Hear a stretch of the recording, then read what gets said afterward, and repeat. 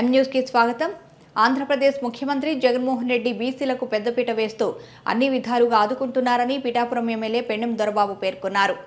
పిఠాపురం పట్టణం పదిహేనో వార్డులోని మోహన్ నగర్ ఏడుకాలలో కొత్తపాకలు ప్రాంతాల్లో ఎమ్మెల్యే పెండెం దొరబాబు గడప గడపకి మన ప్రభుత్వం కార్యక్రమాన్ని చేపట్టారు. ఈ సందర్భంగా ఇంటింటికి వెళ్ళి ముఖ్యమంత్రి జగన్మోహన్ రెడ్డి రాష్ట్రంలో అమలు చేస్తున్న సంక్షేమ పథకాల గురించి వివరిస్తూ కరపత్రాలు పంచారు.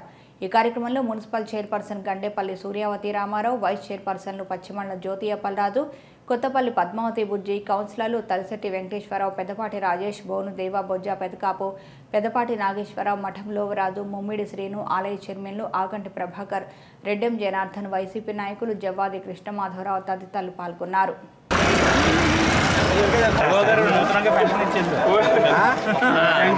ఇస్తానమ్మా ల్యాండ్ డెవల్ చేసి ఇస్తున్నాను లోన్ శాంక్షన్ అయిపోయిందమ్మా జగన్ గారు చేయించారు జై జగన్ అని చెప్పి పట్టుకో పట్టుకో పట్టుకో. పట్టుకోరా?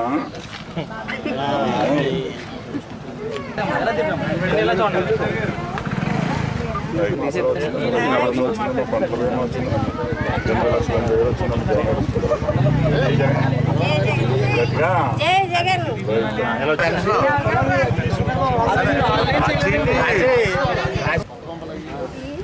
నాకు ఎకరం నాకు రాస్తున్నారా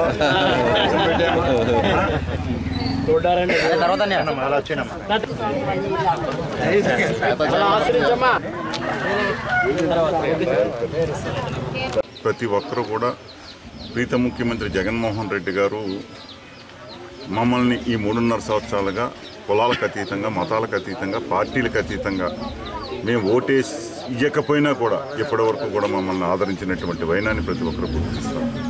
మేము ఒకప్పుడు తెలుగుదేశం పార్టీకి మేము అంకితంగా దాదాపు ఆ తెలుగుదేశం పుట్టినప్పటి నుంచి ఇప్పటి వరకు కూడా మేము పనిచేసాము వారికే ఓట్లేసి నెగ్గించాము. కానీ ఎప్పుడూ కూడా మమ్మల్ని వాడుకున్నారు తప్పించి మా కులాలను అడ్డు పెట్టుకుని ఈ ఈ రోజు వరకు కూడా మాకు చేసిన సందర్భం లేదు అని చెప్పేసి వాళ్ళు గంటాపదంగా ప్రతి చోట చెప్తున్నమాట.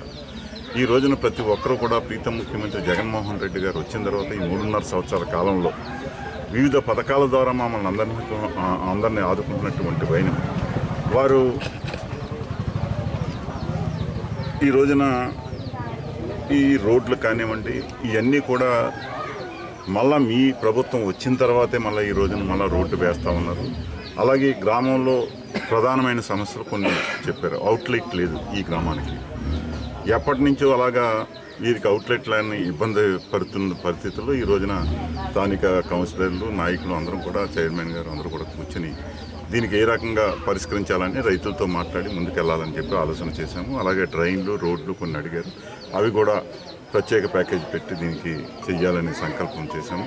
ఈ రోజున ఇక్కడ బీసీ సా సామాజిక వర్గం ఎక్కువగా ఉండే ఈ ప్రాంతం అంతా కూడా జగన్మోహన్ రెడ్డి గారికి రాబోయే రోజుల్లో మేము ఒకే మాట మీద మేము ఓటేసి ఆయన ముఖ్యమంత్రిగా చేసుకోవడానికి ఆయన ద్వారా మాకు పనులు చేయించుకోవడానికి వారు చెప్తున్న మాట ప్రతి ఒక్కరు కూడా ఎప్పుడు మళ్ళా ముఖ్యంగా ఎలక్షన్లు వస్తే అప్పుడు జగన్మోహన్ రెడ్డి గారికి వెయ్యాలనే సంకల్పం ప్రతి ఒక్కరు చెప్పే మాటను చెప్తే మరిన్ని తాజా వార్తా విశేషాల కోసం ఎం న్యూస్ని సబ్స్క్రైబ్ చేయండి. మీ మిత్రులకు షేర్ చేయండి.